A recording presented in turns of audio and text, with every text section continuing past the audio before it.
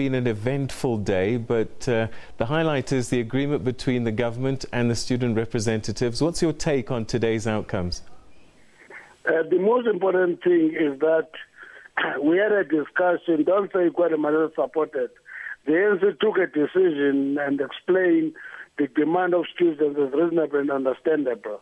Because the ANC is part of society, it understands realities of society. And we are quite grateful that in the meeting of the government, the vice chancellors, the councils of universities, the students, came an agreement to actually put a moratorium on the fee increase and put a team together immediately to work on the path to free education. To me, that is uh, the most correct approach. And uh, I must emphasize that free education is not just a demand that comes now. The ANC resolved on that in, in, in, in 2007 and has been working on it. Uh, some would say, and the students have been saying, uh, SG, that uh, the government has been taking too long to get to this uh, outcome of free education. What, what, are your thoughts on that? No, no, but the, the, the point is that uh, I haven't had anybody trying to quantify progress made. For example, let me start with leave the, the basic education that 87% of schools in basic education are in no-fee schools.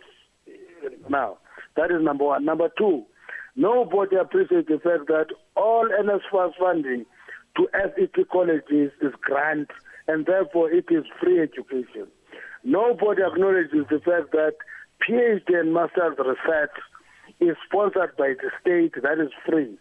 Nobody has expressed any appreciation of the fact that third year funding from NSFAS is a grant that is free.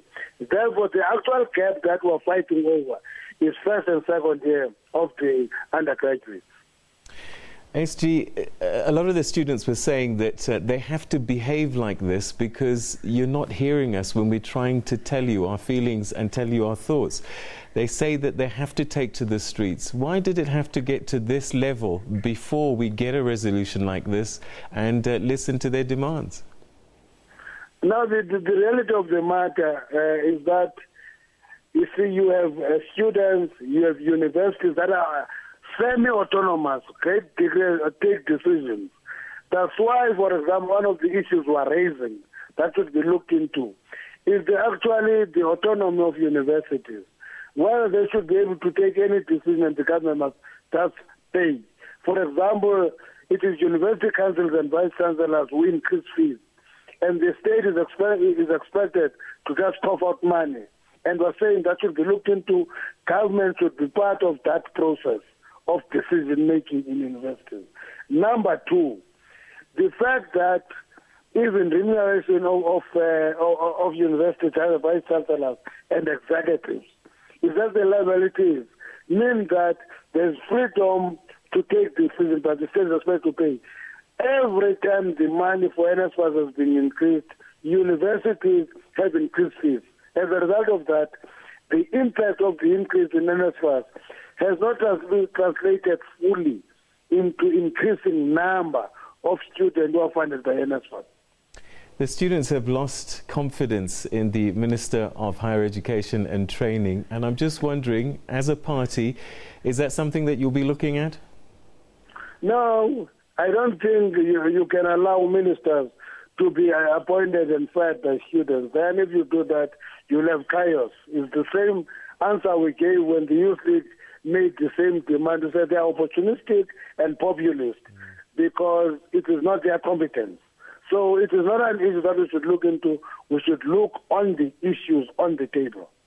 All right. So they say, you're saying that uh, today was a victory, but there's been a journey that's not been reported on in terms of uh, getting towards free education. Do you have an idea of a timeline when that day might come? The fact that the, the, the task team is in place means that that task team must be given time frame to work on. Uh, so the issue is that there's commitment and there's a team. That in itself is communicating a very strong message. All right, SG, we're going to leave it there for tonight. Thank you very much indeed uh, for sharing your thoughts with us.